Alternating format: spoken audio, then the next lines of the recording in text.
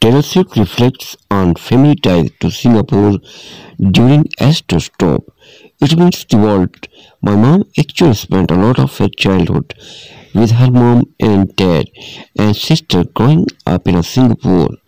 The singer said Taylor is reflecting on family ties surrounding her least Eras Tour stop during her first of six shows at the National Stadium in Singapore on Saturday.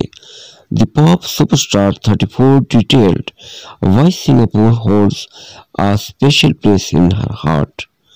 My mom actually spent a lot of her childhood with her mom and dad and sister growing up in Singapore, Taylor said in a fan short video posted on X. So a lot of the time when we had come here on tour my mom would take me and drive me past her old house where she used to go to school so I have been hearing about Singapore my whole life.